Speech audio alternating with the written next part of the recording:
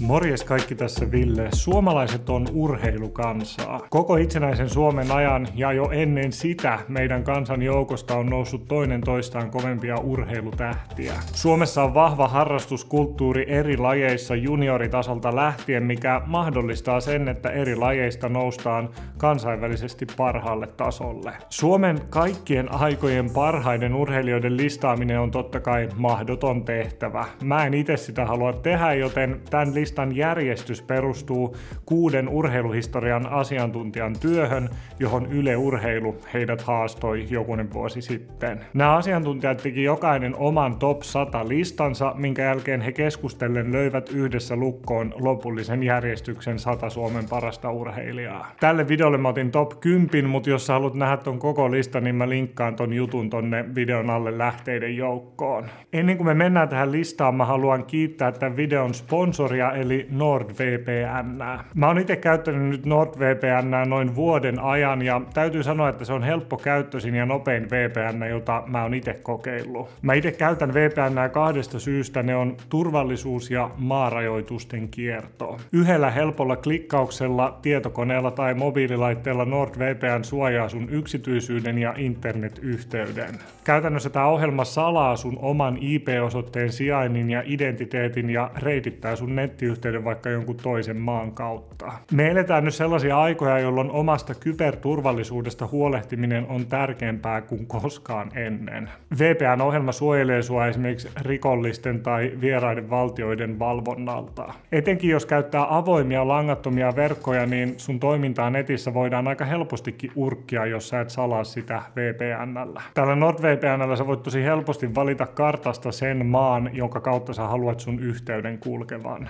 Turvallisuuden lisäksi tämä mahdollistaa sen, että sä pääset käsiksi ton kyseisen maan suoratoistopalveluihin, peleihin, alennuksiin tai urheilulähetyksiin. Esimerkiksi tämä mahdollistaa sen, että sä voit katsella mestarien liigaa suorana lähetyksenä ilmaiseksi saksalaisen netti-TVn kautta, tai toisaalta jos sä oot itse ulkomailla, sä voit katsella Yle Areenasta jotain suomalaista lähetystä. Monissa VPNissä on se ongelma, että ne hidastaa netin käyttöä. Mun kokemuksen mukaan NordVPNstä ei edes huomaa netin nopeudessa, että onko se päällä vai ei. Kun sä hankit NordVPN, niin tee se käyttämällä mun erikoisdiiliä osoitteessa nordvpn.com kautta Ville. Sillä saa 62 prosentin alennuksen kahden vuoden diilistä, eli se maksaa silloin vain 2,77 kuussa. Kaupan päälle tulee yksi ilmanen kuukausi ja 30 päivän perumisoikeus. Kansi siis hyödyntää tämä mun seuraajille tarkoitettu erikoistarjous. Mutta eiköhän me mennä sitten varsinaiseen listaan ja katsotaan läpi 10 Suomen kaikkien aikojen parasta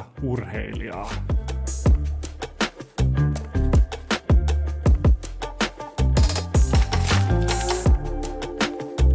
Talviurheilusta on tullut tosi tärkeä osa meidän suomalaisten identiteettiä siinä me ollaan oikeasti tosi hyviä. Helsinkiläinen pikaluistelija Klaas Thunberg oli ensimmäinen todellinen suomalainen talviurheilun olympiasankari. Hän oli pikaluistelija, joka käytännössä hallitsi kansainvälistä pikaluistelun kilpaskeneä 1920- ja 30-luvuilla. Siitä syystä häntä on kutsuttu myös jääkenttien nurmeksi. Kirkkaimmat saavutukset Thunbergilla olivat yhteensä viisi olympiakultaa vuosi vuosien 24 ja 28 olympialaisissa, mutta saipa hän myös reilusti kultamitalleja MM- ja EM-kisoissa. Tumperi jätti huippuurheilun 30-luvulla, vaikka oli silloin vielä huippukunnossa. Syyksi hän ilmoitti sen, että amerikkalaisten järjestämissä olympialaisissa käytettiin uudenlaista yhteislähtösysteemiä, jota hän ei itse pitänyt luisteluna, vaan juoksuna. Myöhemmin on kuitenkin selvinnyt, että Tumber oli riitautunut Luistin liiton kanssa ja saanut heiltä kilpailukielon a lot.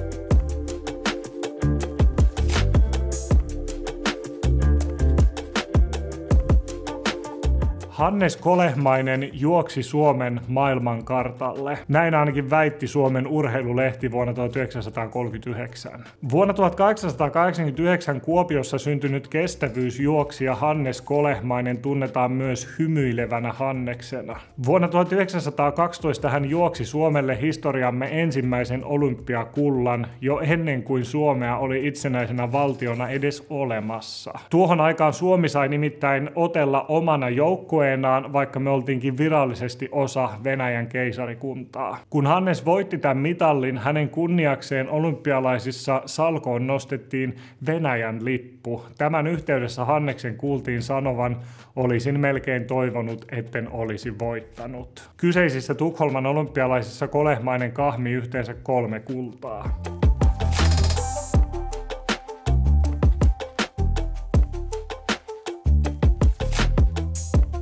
Mika Häkkinen on ainoa F1-kuski, joka tälle listalle valikoitui. On ehkä hieman tulkinta kysymys, pitäisikö tälle listalle nostaa Mika Häkkinen vai Kimi Räikkönen. Jos me otetaan useita eri saavutuksia, esimerkiksi voitot ja M-mitallien määrät huomioon, niin Räikkönen on Suomen menestynein F1-kuski. Mika Häkkinen on kuitenkin ainoa suomalainen F1-kuski, joka on kaksinkertainen maailmanmestari. Häkkinen on myös uskomaton selviytyjä. Vuonna 1995 hän ajoi Adelaideissa takarenkaan tyhjentymisen takia kaarteessa rajusti ulos. Hän iski about 200 kilsan tuntinopeudella rengasvalliin. Miehen pää paiskautui auton ohjauspyörään ja hän sai vakavia niskavammoja sekä kallon murtuman. Mika Häkkinen vajosi koomaan. Kuoleman porteilta Mika Häkkinen toipui niin nopeasti, että hän osallistui jo seuraavan kauden ensimmäiseen kilpailuun. Suurimmat saavutuksensa eli maailman mestaruutensa hän ajoi tämän dramaattisen kokemuksen jälkeisenä vuosina 1998 ja 1999.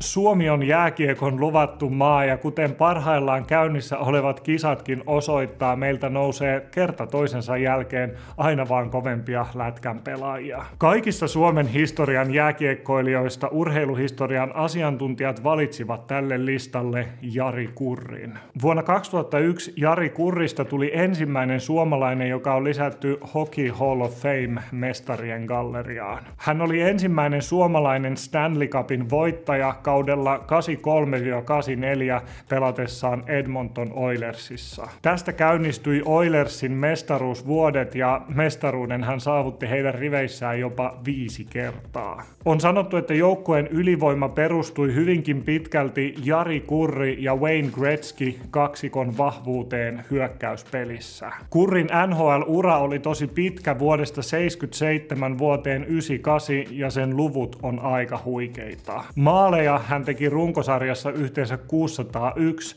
ja pudotuspeleissä yhteensä 106 kappaletta.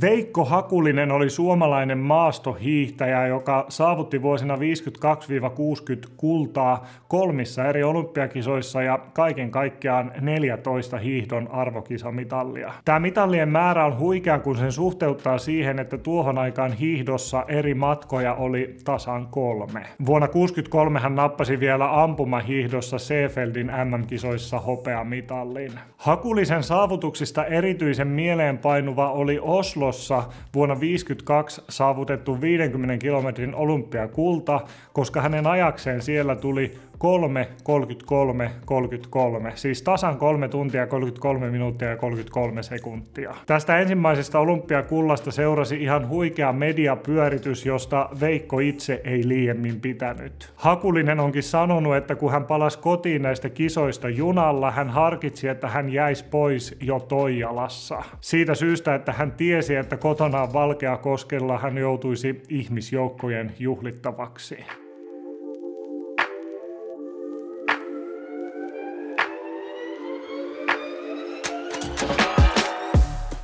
Hiihtäjä Marja-Liisa Kirvesniemestä tuli suomalainen hiihtolegenda erityisesti Sarajevon vuoden 84 talviolympialaisten myötä. Siellä hän saavutti huikeat kolme olympiakultaa naisten 5, 10 ja 15 kilometrien matkoilla. Mitallien määrässä ja laadussa mitattuna hän oli Sarajevon olympialaisissa koko kisojen paras urheilija. Sarajevon olympialaiset jäivät muutenkin suomalaisen urheilun historiaan, sillä niissä Suomi on saavuttanut kaikkien aikojen suurimman talviolympialaisten mitallimääränsä, eli 13 kappaletta, joista neljä oli kultaa. Koko urallaan Kirvesniemi on saavuttanut yhteensä 15 arvokisamitallia, mikä on korkein suomalaisen hiihtäjän mitallimäärä yhdessä Mika Myllylän ja Aino-Kaisa Saarisen kanssa.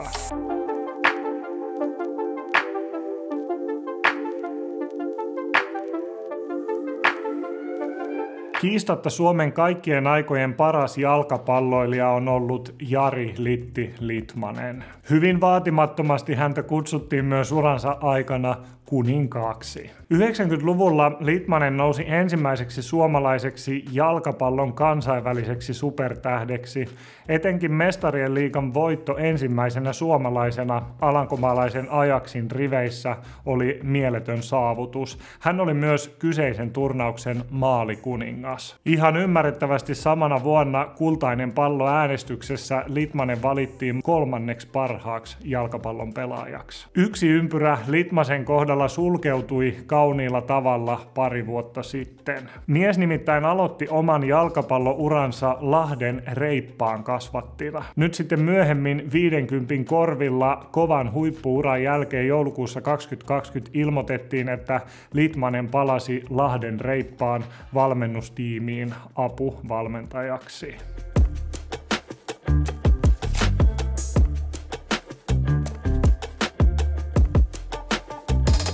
Urheiluhistorian asiantuntijat nostivat Suomen kolmanneksi parhaaksi urheilijaksi mäkihyppääjä Matti Nykäsen. Nykäsen menestys olikin vertaansa vailla. Maailmankapissa hän oli aktiivinen vuosien 81 ja 91 välillä, jolloin hänelle kertyi huikeat 46 voittoa ja hän seisoi palkintokorokkeella 76 kertaa. Mun syntymävuonna 88 Calgaryn olympialaisissa hän hyppäsi samojen olympialaisten aikana kolme kultamitallia. Jo neljä vuotta ennen tätä siellä kuuluisissa Sarajevan olympialaisissa hän oli hypännyt uransa ensimmäisen olympiakullan. Huippuvuosinaan Nykäsen hyppytaidosta kertoo jotain se, että kahtena peräkkäisenä vuonna hän rikkoi kaksi kertaa maailman ennätykseen. 84 hän hyppäsi maailmanennätyksen 182 metriä ja paransi sitä heti samana vuonna 185 metriin. Eikä se tosiaan jäänyt siihen, vaan seuraavana vuonna 85 hän rikkoi uudestaan maailman maailmanennätyksen 187 metrillä ja paransi sitä uudestaan saman vuoden aikana 191 metriin. Aika harva saa uransa aikana rikkoa maailmanennätyksen monta kertaa.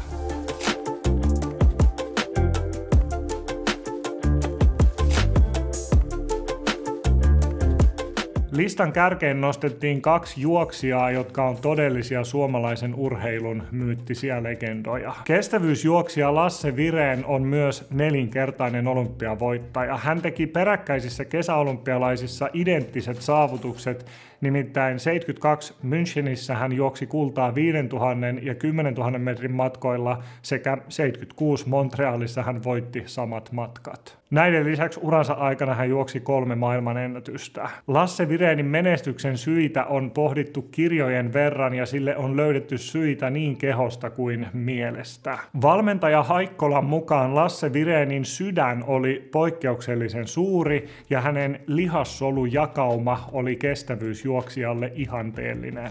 Vireen oli kuulemma myös keskitasoa selvästi älykkäämpi ja hän oli hyvä päässälaskija sekä havaintotarkkuutta vaativissa tehtävissä. Motivaatio ja voimakas tahtoisuus urheilijana hänellä olivat hyvin korkealla ja onkin selvää, että sitkeys on urheilijalle yksi tärkeimmistä ominaisuuksista.